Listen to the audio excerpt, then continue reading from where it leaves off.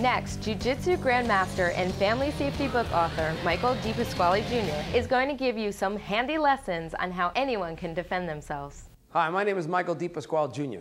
I'm the Executive Director and the founder of the Federation of United Martial Arts Crusade Against Crime and Drugs. Today we're going to teach you at home techniques that you could use to protect yourself any place, anytime. With that, let's get going. Probably the most common attack for women especially is that choke. Please, Sean, come with choke. Okay. Now that's fast way of doing it. What they call that is intercepting. Okay, they call this a prayer block. What it simply is is when the man comes in with a choke, we do the prayer. We open it up, slide across, come under the arm, the elbow, locking the shoulder here. Very simple technique and breaking from here.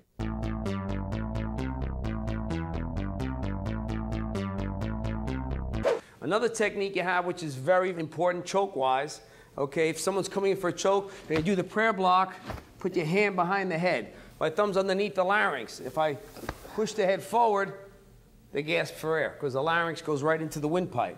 So we have two techniques. One comes in here, locking up, breaking. Second technique, prayer block up, straight into the head, top of the head pushing, thumb is underneath the larynx, and we just push forward.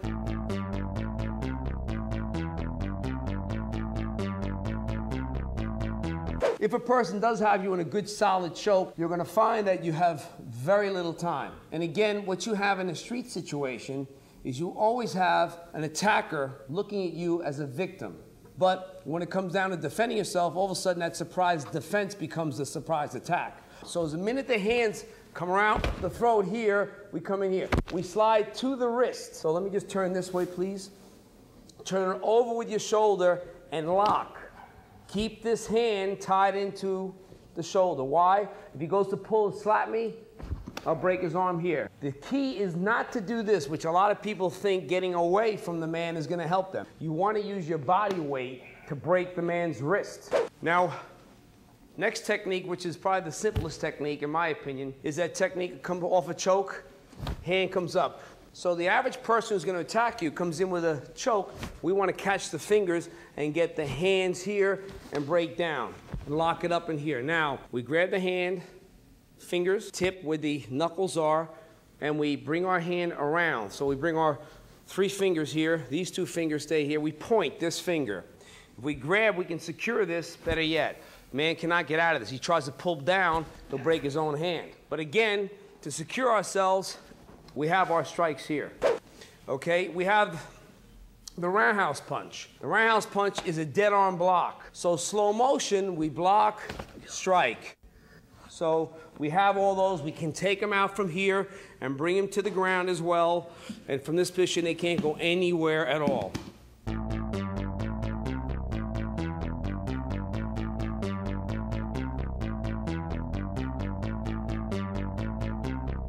I'm Michael DePasquale Jr. This is Inside Martial Arts. We'll be right back after this. We're back. Michael DePasquale Jr. here. Earlier, I showed you some simple techniques. Now I'm going to show you some advanced techniques. I want to introduce you to my Uke, Bob Robert Scott, one of my top black belts. All right, Bob, let's. All right, first off, what we're going to do is show you some of the serious side of self-defense. So we'll start with the roundhouse punch. He throws a roundhouse punch. We have to learn how to do the dead arm. The traditional block, come in, stops the motion, but when he overpowers you, you become kind of like a statue. So this kind of motion with a person who's really strong can knock you over. So we're going to go into the technique. With, the first thing is the dead arm from here with a strike.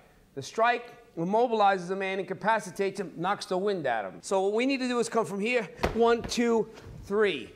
As he starts to pull up, let's say strong this way, we want to just exercise the joint. Where does the joint naturally go? It goes backward. So he's going to pull it back to punch me. And then it's too late because I'll snap his wrist. Now we can take him down to the ground. He can't budge from you. Put your hand behind your back, please. Fold your feet, bring them up. Why do we fold the feet, even a civilian? Because we don't want him to have any position so that when I slip, if I slip, he can get his feet on the ground, his arms on the ground, and move fast. Now, if you're a cop, you can handcuff. Number two, we were showing this before. Throws a roundhouse punch. One, two. So you can come in straight here, striking here. These are more advanced because they react fast. Choke. Comes in with a choke from this position here, and he gets a hold of your hand. Several options. You can grab the hand as you kick straight down.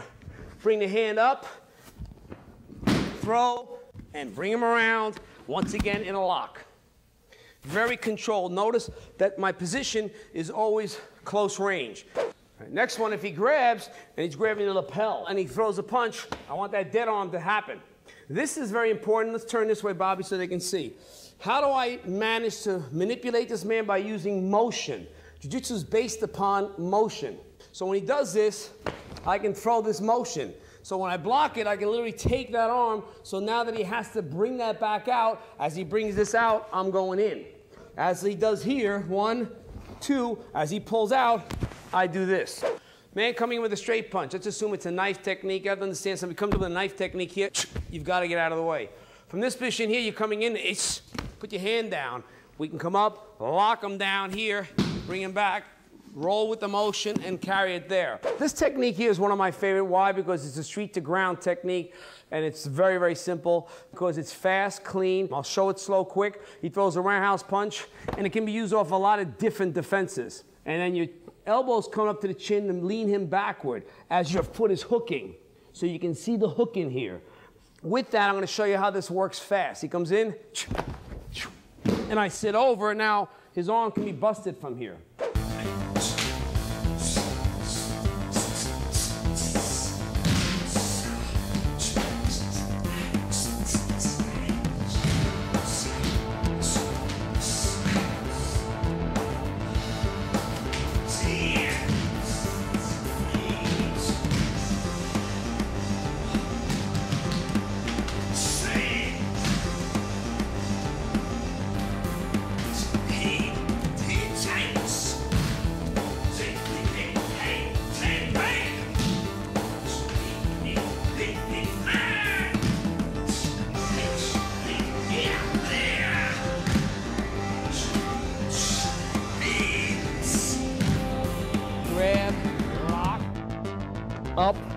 In, and throw. And that's it. I thank you very much for your attention. Hopefully you did get something. My name is Michael DePasquale Jr. Hope you enjoyed the company. Bye-bye.